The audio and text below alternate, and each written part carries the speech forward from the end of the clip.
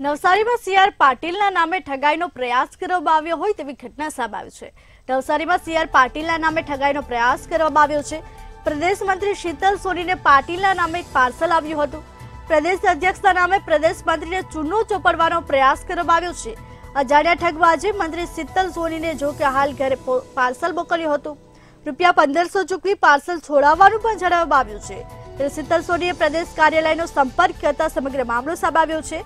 Facebook પર post કરી તમામ કાર્યકરોને સતર્ક રહેવા જણાવ્યું છે.